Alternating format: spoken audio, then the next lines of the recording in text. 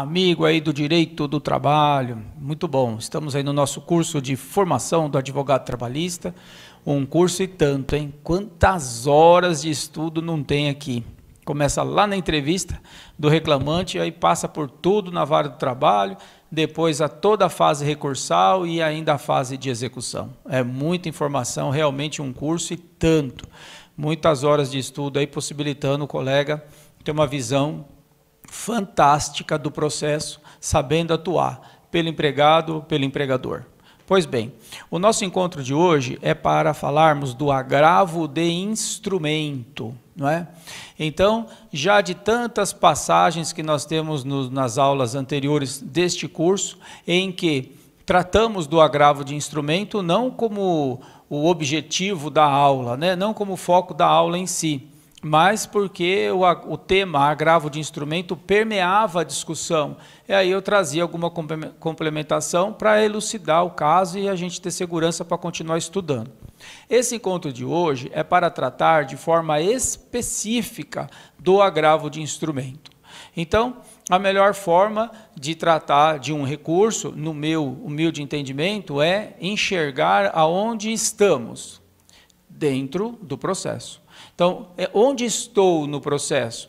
Eu estou na fase do conhecimento? Eu estou na fase da execução? Em que grau da instância da jurisdição eu estou? Eu estou na vara do trabalho, no TRT, no TST? Onde estou? Qual foi a decisão que houve no processo? Qual a última decisão que houve no processo? E então o que devo fazer? Para isso, para isso preciso saber onde estou. Não é? Então eu dividi aqui, ó, nos órgãos do Poder Judiciário do Trabalho, que a gente tanto já estudou, que está lá no artigo 111 da CF. Vara do, do Trabalho, os TRTs e o TST, que tem sede em Brasília. Por que, que eu fiz esse traço vermelho aqui, separando o TST, destacando o TST do estudo do agravo de instrumento? Por quê? Porque o agravo de instrumento, ele está dos recursos que foram negados segmentos que são do, da vara do trabalho para o TRT e os recursos de competência do TRT para o TST. Não é? Então, negou segmento a esses recursos, aí vai caber para destrancar o agravo de instrumento. Portanto, o agravo de instrumento só serve para destrancar recursos, nunca para se insurgir de uma decisão interlocutória no processo do trabalho. E isso já foi tema de tantos encontros anteriores é, a respeito dessa questão de não caber recurso. Não é? Tanto que nós temos aqui no Formação do Advogado Trabalhista um módulo específico que cuida lá da prática geral de recursos. Aí lá eu falo, explico que não cabe recurso nenhum de decisão interlocutória no processo do trabalho, né? bem passo a passo lá. Porque lá no cível, o agravo de instrumento é um recurso para outras decisões que não apenas e tão somente a que nega seguimento a um recurso. Cabe, em determinadas hipóteses, contra a decisão interlocutória. Nocível, nós estamos na trabalhista. Muito bem. É, é, portanto, então, dividi aqui, fora os graus da jurisdição, dividi ainda fase do conhecimento e fase de execução. Para ficar bem divididinho aqui, você não se perder. Então, olha que legal, vamos começar a enxergar tudo isso daí para poder, então, encaixar o agravo de instrumento. Então vamos imaginar que aqui na vara do trabalho foi proferida uma sentença. Aí a parte interpôs um negócio que chama recurso ordinário. Artigo lá 895, inciso 1, não é? 895, inciso 1 do TST. Aí o colega de repente veio assistir direto essa aula, deve estar se perguntando, mas como assim 895 inciso 1? Dá uma, uma estudadinha na nossa aula de recurso ordinário aqui do Formação que vai entender. Muito bem. Então é isso. 895, inciso 1 do TST. Pois bem. E, e aí, o que, que acontece? É interposto esse recurso aqui na vara do trabalho. E aí nós temos, então, face a sentença, né? Muito bem. Aí o juízo da vara do trabalho, ele vai fazer a admissibilidade no RO. E pode vir aqui, ó, depois do RO, um despacho um despacho do juiz com a seguinte observação. Observação não, né? Com a seguinte decisão: nego segmento. Então foi negado o segmento. Negado o segmento ao quê? Ao RO. E aí, qual o recurso? O recurso é o agravo de instrumento. Para quê? Para que o agravo colhe aqui no recurso ordinário e sigam os dois aqui para o TRT. Quando chegar no TRT, o relator sorteado lá no TRT, ele vai fazer a admissibilidade no agravo. Agora é que o agravo de instrumento vai passar pelo juízo de admissibilidade. Então, quando interpõe o agravo na vara do trabalho, que é interposto na vara do trabalho, não é interposto lá no TRT. Quando interpõe o agravo de instrumento na vara do trabalho, o juízo da vara, ele não vai fazer admissibilidade no agravo. No agravo não, o juízo da vara já fez admissibilidade no RO e negócio segmento. E aí? Aí agrava. Pronto, o agravo fica lá. Chama a parte contrária para contrarrazoar o RO e contraminutar o agravo. Junta tudo e manda para o TRT. Aí que o TRT vai fazer a admissibilidade é, no agravo. Se o agravo tiver razão e o juízo negou segmento de forma equivocada, então esse agravo destranca o RO e na mesma sessão a turma do, do TRT já passa a conhecer do RO.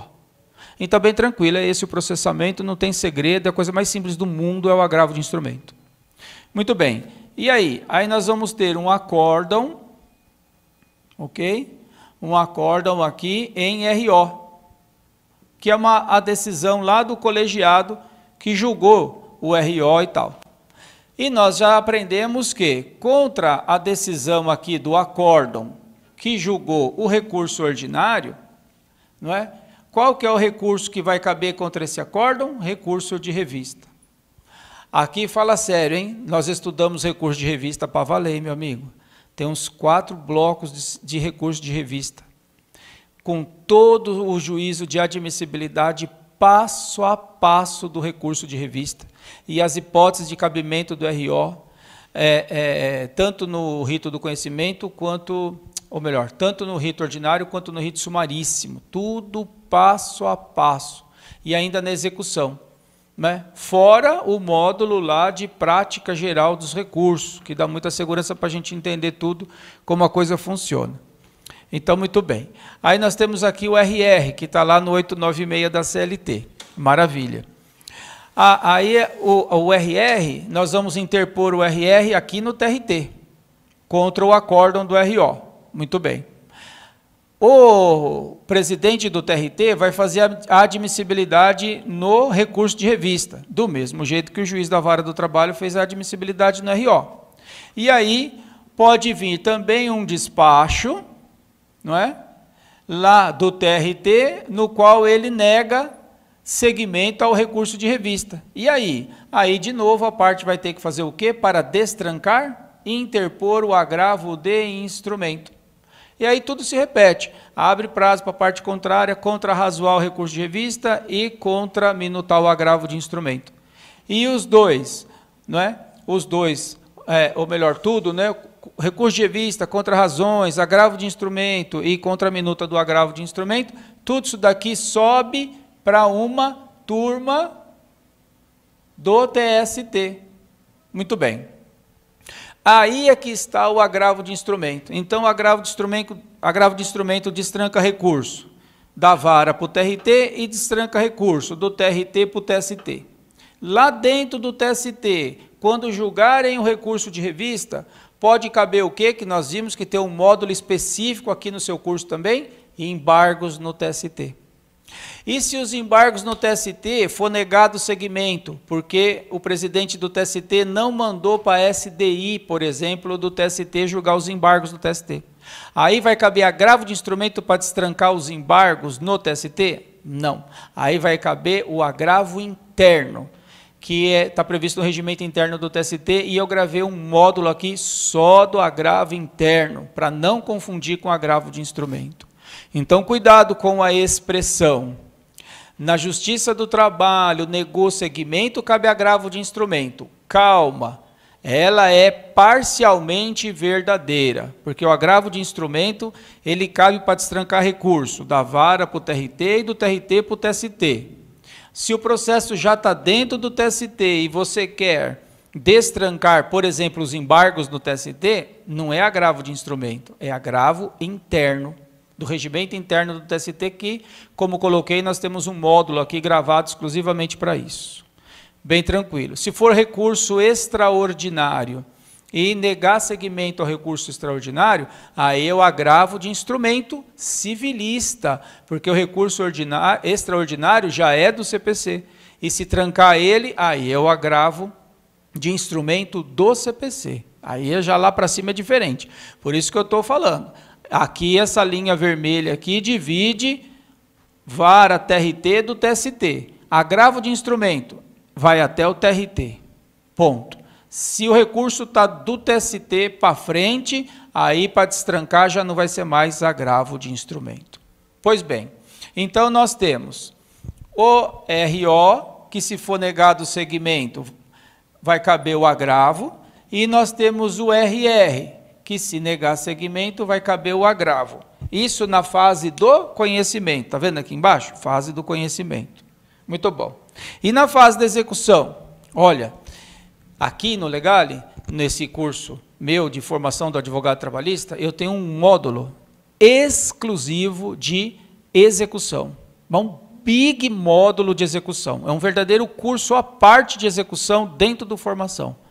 Fiz um, um, uma, um, um curso aqui de, de, de execução, o um módulo de execução passo a passo, extremamente profundo, para você entender o que é execução, o que é um título executivo judicial, extrajudicial, como que funciona a execução trabalhista, como funciona quando o empregador não indica bens e você tem que procurar a satisfazer, você tem que procurar uma penhora, como é que funciona no embargos de execução, embargos de terceiro e o recurso lá da execução, que é o agravo de petição. Ó, tudo isso na execução. Muito bem. Aí então aqui vamos ver a fase da execução. Então, processo transitou em julgado, voltou para a vara, começa a execução. Aí vamos supor que teve embargos de execução, embargos de terceiro lá e teve sentença. Aí você vai falar assim, pô, sentença de novo, mas já não teve outra sentença? Teve, mas a outra sentença foi em que fase? a do conhecimento, agora a gente está na execução. Contra a sentença, na fase de execução no processo do trabalho, cabe agravo de petição. Ué, mas não é recurso ordinário, não? Não, RO é na fase do conhecimento. Que fase que você está aqui, meu amigo? Execução. Então é agravo de petição. E aí? Aí o agravo de petição vai para a mão do juiz da vara como se fosse um RO na fase do conhecimento. O que, que o juiz vai fazer? Adivinha? Juiz de admissibilidade no agravo de petição. Tudo que a gente estudou no módulo desse curso, prática geral de recursos, vale para todos os recursos para fazer a petição de interposição de todos os recursos.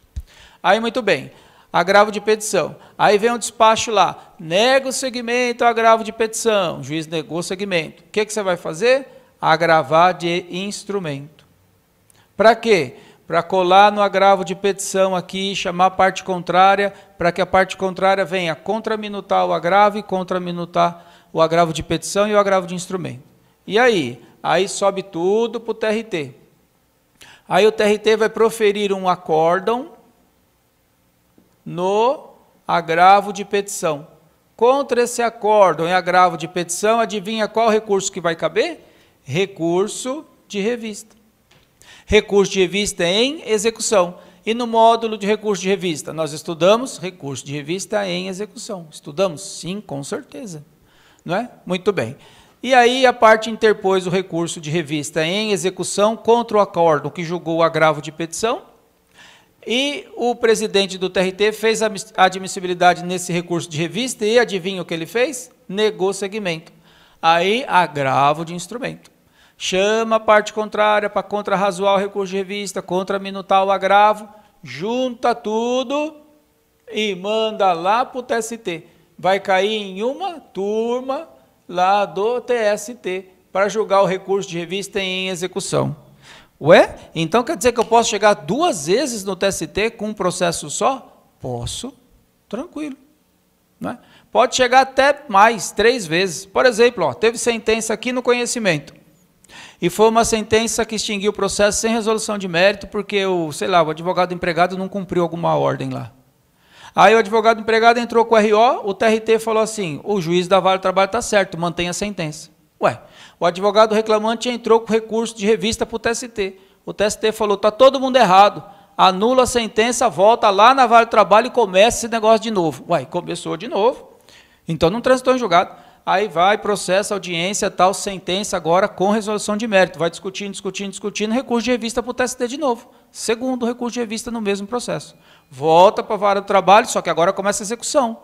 E na execução pode chegar em recurso de revista no TST de novo. Por que não? Está pensando que processo de trabalho é, é, é inicial, contestação, acordo? Olha aí a fase recursal, meu amigo, tem muita coisa aí. Negou segmento. A, a, a, até aqui, ó, nos recursos que são interpostos no TRT, por isso que eu fiz essa divisão vermelhinha aqui, destacando o TST, tudo que for negado segmento aqui na vara do trabalho e no TRT, o recurso que vai caber para destrancar é o recurso de revista. E o processamento eu já expliquei também. Então, olha aqui, ó, na execução. Até para rever, ó, fase do conhecimento, sentença RO. Se negar segmento, agravo de instrumento. Sobe para o TRT, julga o RO, recurso de revista para levar para o TST. Se negar segmento, agravo de instrumento. Beleza, aí o recurso sobe para o TST. Se lá para cima negar segmento, já não vai ser mais agravo de instrumento. Aí o recurso lá para destrancar, por exemplo, embargos no TST, agravo interno. Beleza, transito julgado, volta para a vara e aí vamos para a fase de execução. Fase de execução, recurso lá, depois que tiver sentença na execução, é o agravo de petição. E se negar segmento, agravo de instrumento para destrancá-lo. Sobe para o TRT, é julgado o agravo e vai ter o agravo de petição, vai ter um acórdão. Desse acórdão, recurso de revista, e se negar segmento, agravo de instrumento para destrancar a revista e leva tudo para o TST. Chegando lá no TST, o ministro relator que vai fazer a admissibilidade no agravo, para ver se conhece da revista. Tá ok? Ok? É exatamente assim. Então, ó, bem tranquilo, hein? A estrutura do Poder Judiciário do Trabalho, vara, TRT e TST, fase do conhecimento, fase da execução. Depois dessa, seu colega confundir agravo de instrumento com agravo interno, com agravo de petição, Olha, aí é para chorar, né? Tudo bem passo a passo. Vamos mostrar para você agora o material, para você entender a questão dos requisitos de admissibilidade também. Aí estão tá os meus contatos, tudo atualizadinho, tem uma série de contatos aí.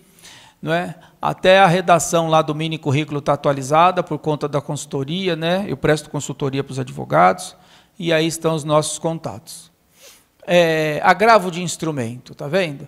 897 da CLT. Cabe agravo no prazo de oito dias. Letra A, de instrumento. Cabe agravo de instrumento do quê? Dos despachos que denegarem a interposição de recursos. Está escrito aí que cabe de decisão interlocutória? Não, então não inventa, só cabe disso daí. O cabimento está aqui, já expliquei tudo, até do embargos no TST está explicando aí de novo. O processamento eu já expliquei, que vai para o juiz que deu, que negou o segmento, e aí a parte agrava. E olha o parágrafo 4 do 897, ó. Na hipótese da linha B, que é o agravo de instrumento, o agravo será julgado pelo tribunal que seria competente para conhecer do recurso cuja, cuja interposição foi denegada. Aqui, ó, fase do conhecimento. RO, quem vai julgar o agravo? O tribunal que teria competência para conhecer do RO. E aí, como foi negado segmento pelo juiz da vara, vai, vai conhecer primeiro o agravo.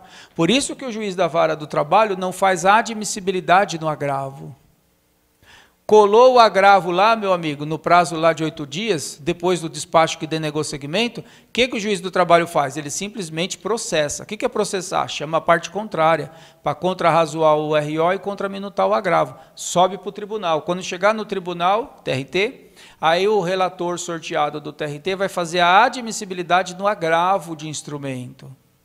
Se ele, juízo lá, relator do TRT, entender que o agravo, o agravante tem razão no agravo, o juízo da vara que estava errado, aí dá provimento no agravo de instrumento e já passa a conhecer do recurso que estava trancado, que é o recurso ordinário. E se ele negar mesmo falar que o juiz da vara do trabalho estava certo, aí você pode até interpor um recurso de revista contra isso aí, mas você não vai ter muita chance de sucesso, porque o recurso de revista é em face dos acórdãos que julgam recurso ordinário. Seu recurso ordinário não foi julgado. Enfim, para embolar, você pode até interpor recurso de revista aí. É, é uma situação delicada essa, quando entende-se que o agravo de instrumento ele não destranca o recurso principal por conta do vício, né? Muito bem. O que eu vejo mais assim de agravo de instrumento da vara para o TRT é pouco, viu? Pelo que eu vejo, é difícil o juízo do trabalho negar segmento. O que eu tenho visto, quando nega pro, é, é, é, segmento ao recurso ordinário, na admissibilidade do juízo da vara do trabalho, ele nega segmento ao recurso ordinário, é quando o recurso ordinário é do reclamante. E o reclamante está quando o reclamante perdeu tudo, inclusive justiça gratuita, e o advogado reclamante, então, ele entra com o RO. Pelo que a gente já estudou de custas, se o reclamante perdeu tudo que ele, per... tudo que ele pediu, inclusive a justiça gratuita não foi concedida, então o reclamante tem que recolher o negócio que chama custas. E aí o advogado reclamante entra com o RO sem recolher custas, porque o empregado não tem dinheiro. E aí o juízo não vai receber o RO porque está deserto. O advogado reclamante tem que agravar e continuar discutindo a justiça gratuita para ver se o tribunal dá justiça gratuita e conhece do RO. Então, esse é o caso na prática que eu mais vejo agravo de instrumento na vara do trabalho. Não é muito comum negar segmento lá nos ROs, não. Muito bem. Por outro lado, depois que esse RO subiu no TRT, foi julgado no TRT e tem o acórdão do RO, e a parte vai entrar com recurso de revista, aí aqui vai a aula do recurso de revista com todo o cuidado que tem porque eventualmente antes de entrar com o próprio recurso de revista é necessário embargar no TST para fins de pré, ou no TRT para fins de pré-questionar a matéria e melhor preparar o recurso de revista. Seja como for, aqui no TRT da segunda região, a coisa mais comum que existe é o TRT da segunda região negar seguimento ao recurso de revista. É básico, parece que já tem o despacho pronto. Não é nenhuma crítica ao TRT da segunda região, para ficar claro, para ninguém ficar sentido, dolorido. Mas que é assim, básico negar segmento, é básico negar segmento. Tanto que aí a parte tem que é, é, agravar para destrancar o recurso de revista. E sobe tudo para o TST. E já vi casos aí de ser negado segmento ao recurso de revista e depois sobe para o TST por força de agravo o agravo destranca o recurso de revista e muitas vezes o próprio recurso de revista é, é provido ou parcialmente provido. O que demonstra que o TRT estava equivocado de negar tanto segmento como nega, ao menos aqui na segunda região. Tenho experiência, por conta da consultoria que presto, de acabar indiretamente advogando em outros TRTs da federação. E vejo que em outros TRTs não tem essa coisa de filtrar tanto recurso de revista como se faz aqui na segunda região. Mais uma vez, não é crítica nenhum juiz ou presidente do TRT da segunda, é nada disso. Né? Até porque eu já tive recurso de revista no rito sumaríssimo, aqui na segunda região, que subiu sem agravo e foi provido. Recurso de revista esse que a gente estava discutindo justiça gratuita, por exemplo. Né? Mas muito bem. Então, é só para o colega enxergar da vara para o TRT é bem difícil precisar de agravo para destrancar algum recurso, a menos no exemplo que eu tratei aqui. Por outro lado, do TRT para o TST já é um outro critério, até porque o recurso de revista, que então seria o recurso negado segmento no TRT para você apresentar, interpor o seu agravo de instrumento para destrancar o recurso de revista, ele, RR, ele tem muito requisito de admissibilidade.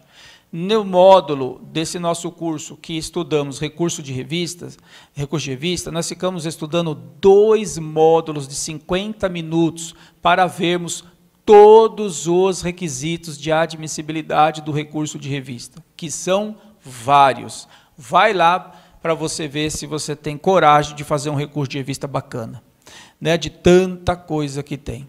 Muito bem. Aqui no parágrafo 6 é o que eu tinha comentado, né? Que o agravado, naturalmente que é a parte contrária, vai ser intimado para oferecer resposta ao agravo de instrumento e ao recurso principal. Por isso que eu falei lá. Aí a parte contrária vai ser intimada, por exemplo, para contrarrazoar o RO, que estava negado segmento, que estava trancado, e o agravo de instrumento da parte que está recorrendo. E a parte contrária vai contrarrazoar o RO e contraminutar o agravo, que aí está o recurso principal, instruindo as peças aí da forma que tem que ser instruída. Agora eu vou comentar uma coisa. Na formação do agravo, não é, a redação da CLT antiga, né? ela não está atualizada, por exemplo, com a realidade do PJE. Então, como que era o agravo? A gente tinha que formar o agravo de instrumento. Nossa, mas o que é isso, formar o agravo de instrumento? Era assim. Imagina você, o processo estava tramitando, processo físico ainda, do tempo lá, que amarrava o cachorro com linguiça. E aí, o, o, o, é, é, o, tinha a sentença lá, e você ia lá, consultava a sentença, bacana. Entrava com o RO, se fosse o caso. Estava lá o RO. Aí vinha intimação, negócio segmento. Aí o que, que tinha que fazer? Tinha que ir lá no fórum, fazer carga do processo e tirar cópia das folhas obrigatórias de determinados atos que foram praticados no processo. Para quê? Para instruir o processo. Ou melhor, para instruir o agravo, para formar o agravo de instrumento. Então, o agravo de instrumento, ele dava trabalho, porque você tinha que formar esse agravo. Hoje é tudo eletrônico. Então, qual que é a dica que eu dou?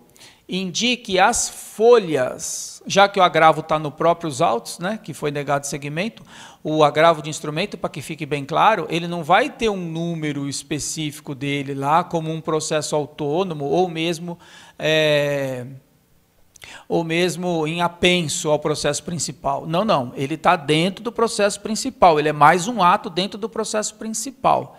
Por isso que não precisa mais formar o instrumento. Por quê? Porque nós estamos no PJE. E aí? Aí as folhas do, do, dos atos, que eu já vou dizer quais são, das peças obrigatórias, que a gente teria que juntar as cópias, o que, que é interessante o colega fazer? Monta uma tabelinha e cita que folha que está do PJE e o ID, que está para facilitar o, o juízo de admissibilidade do auxiliar da justiça que vai fazer esse juízo de admissibilidade no seu recurso. Tá ok? Então não precisa juntar a folha de novo no PJE. Basta você citar as folhas que está do arquivo PDF, né? baixa ele integral, o arquivo PDF, e o ID. Pronto, aí fica tudo cumprido a obrigação, bem legalzinha, bem, bem tranquilo. E quais são essas peças obrigatórias? Está aqui, ó, no 897, parágrafo 5 Olha o que diz o parágrafo 5 sob pena de não conhecimento. Então você tem que ficar esperto, né? Você tem que cumprir essa, essa obrigação aí, ó.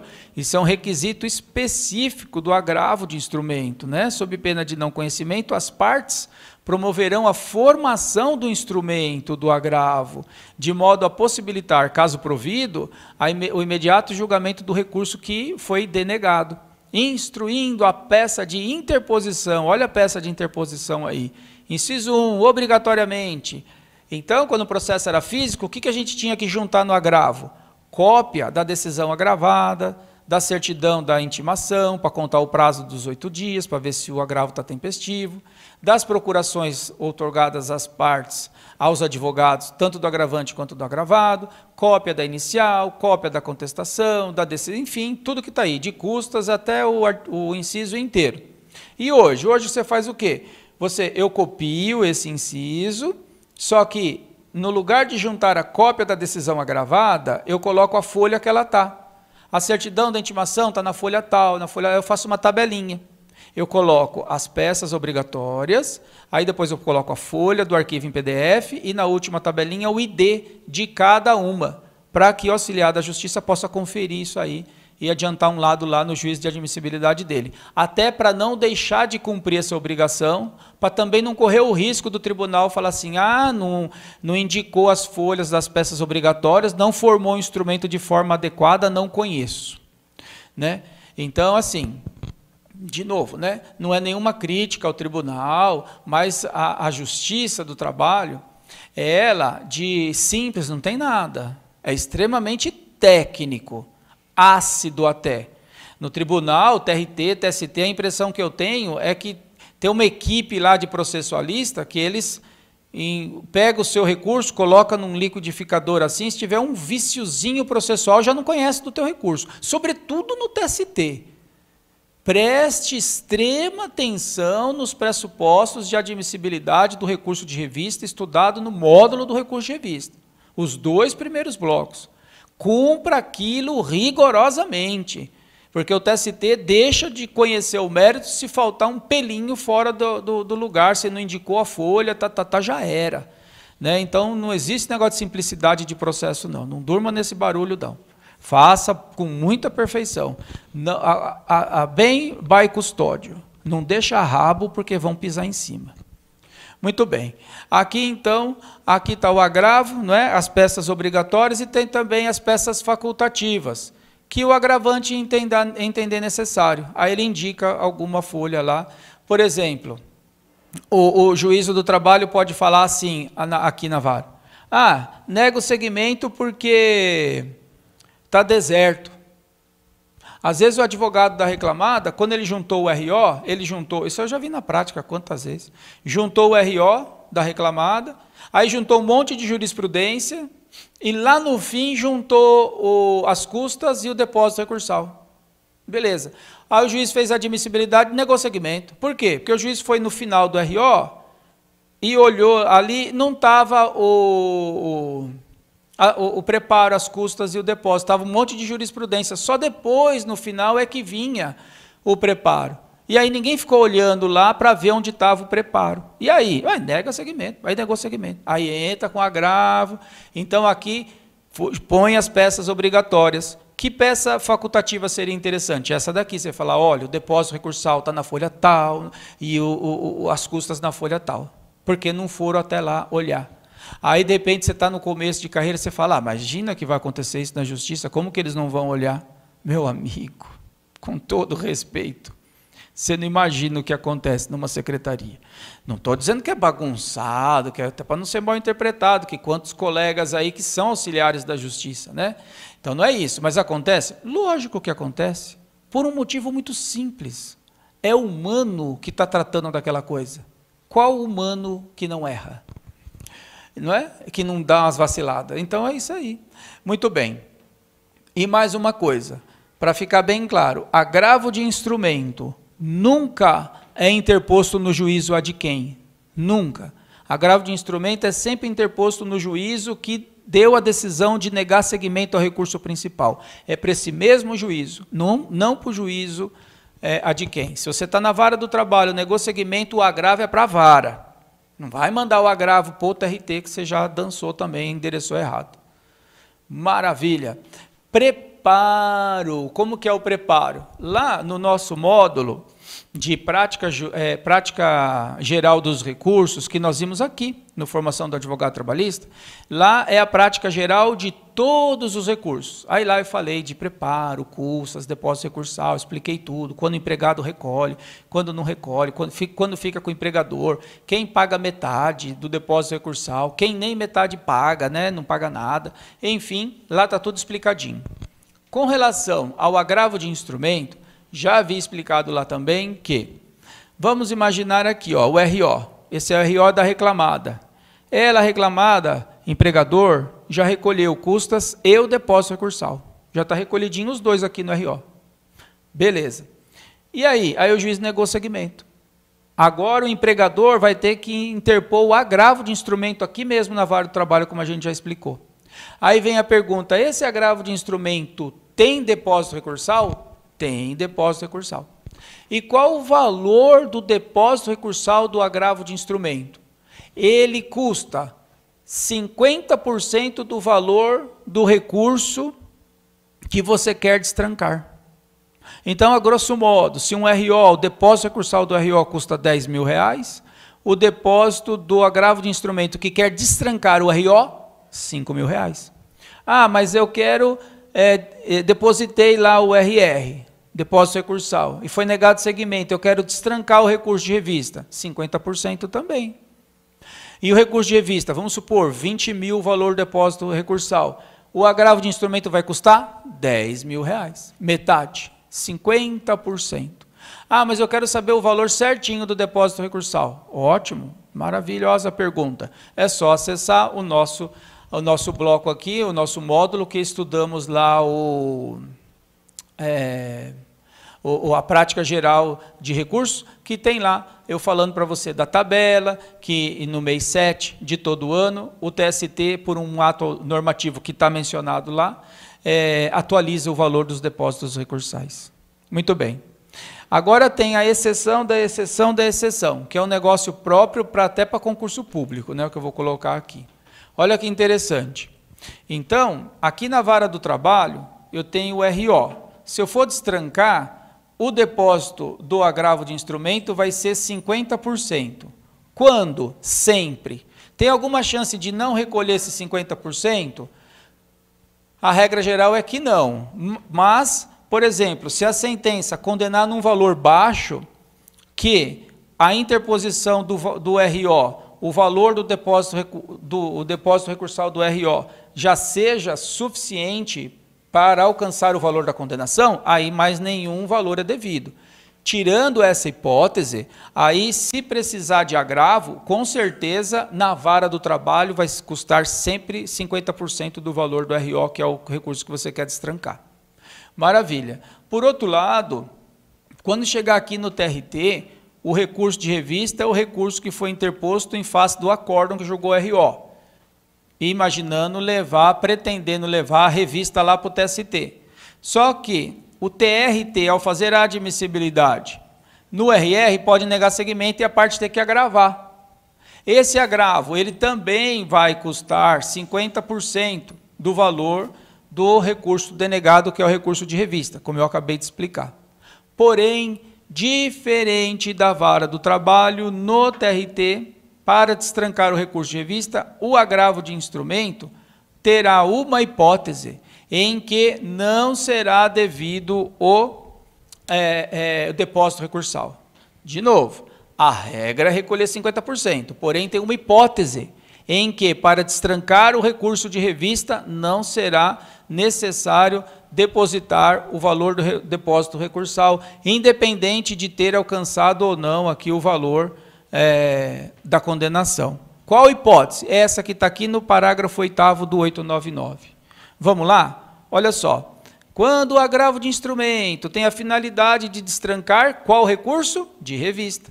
Que se insurge contra a decisão que contraria jurisprudência uniforme do TST, consubstanciada, ou seja, demarcada nas suas súmulas, súmulas do TST, ou OJs do TST, não haverá obrigatoriedade de se efetuar o depósito recursal mencionado aí no artigo 7 que é o de 50%. Então, o que, que deu para entender?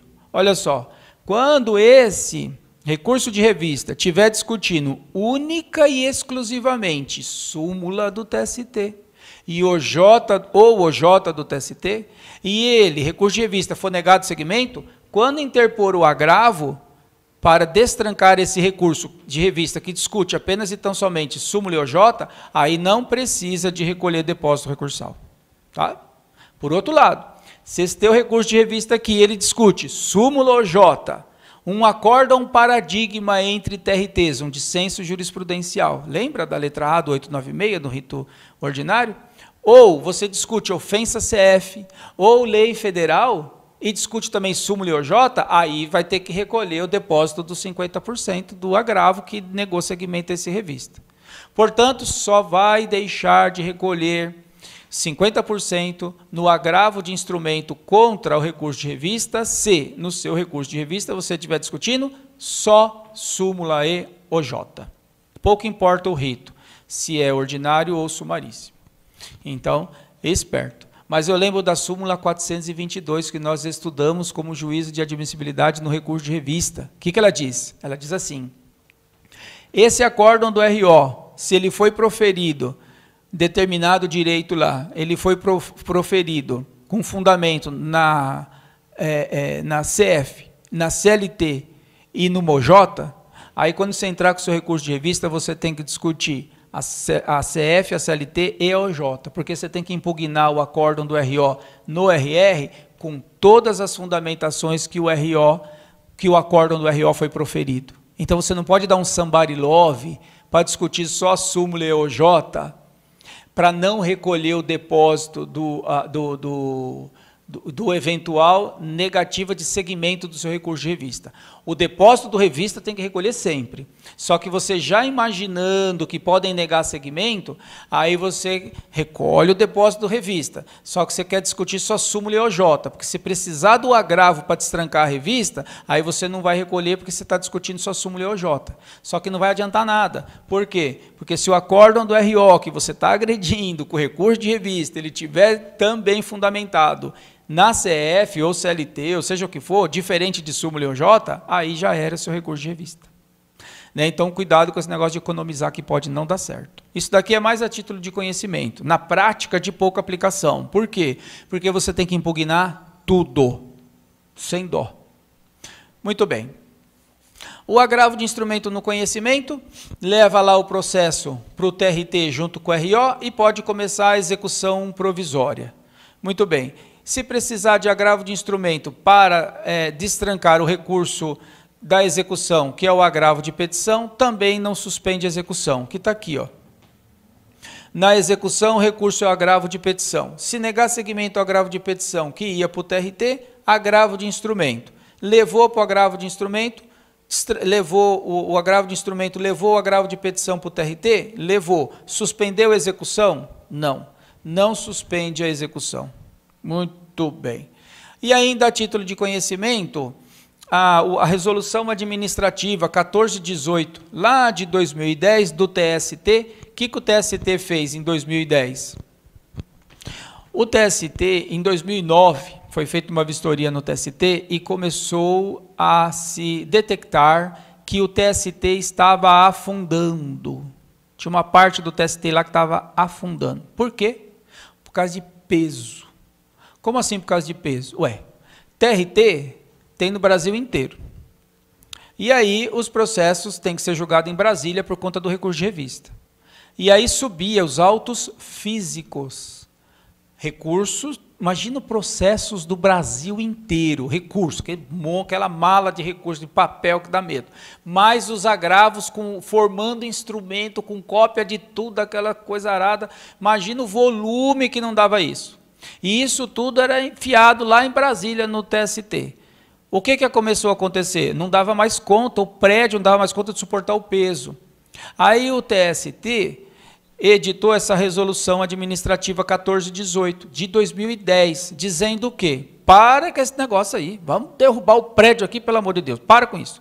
E agora? Agora é o seguinte, TRT, presta atenção aí, os serventuários do TRT é assim, quando a parte interpor recurso para o TST, o que, que o TRT vai fazer? Quando os processos ainda eram físicos, 2010. O que, que o TRT vai fazer? Escaneia tudo isso daí, escaneia tudo e manda um arquivo para ficar na nuvem do TST. Pronto, acabou com aquela farra de papel e aí fica tudo na nuvem tudo na nuvem aí, e aí o TST então já não tem nada em papel desde 2010, né? Então imagina quantos anos, já passou de 10 anos aí que o TST não tem nada em papel mais lá. Então essa resolução administrativa mais a título de conhecimento, né? Muito bem. E aí, de alguma forma, por conta do PJE que veio e avançou, né? Ele mudou a realidade, inclusive, da vara do trabalho, como eu já tinha explicado. O agravo de instrumento para destrancar RO de um processo eletrônico, você não precisa formar um instrumento. Monta a tabelinha e indica as folhas. Senão fica volumando muita coisa, aí daqui a pouco até a nuvem vai estar estufada de documento. Né? Muito bom. Agravo de instrumento no PJE também, que eu acabei de comentar, para você ter é, uma, uma, um material completíssimo aí com você.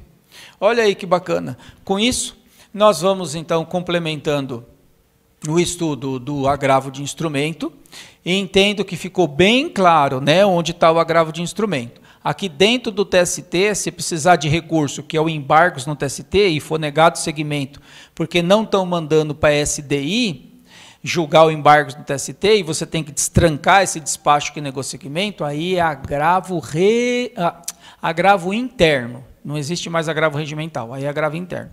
Por, por, outro lado, os recursos aqui ó, de vara e de TRT, quer na fase do conhecimento, quer na fase da execução, negou segmento? Negou. Agravo de instrumento nele. ok? E já corre lá fazer uma boa sustentação oral. Se precisou de agravo, o choro tem que ser mais significativo. Muito bom. Com isso, complementamos mais um é, é, estudo de recurso, para você ter um super curso aí e ter segurança para advogar. Um abraço, meu amigo.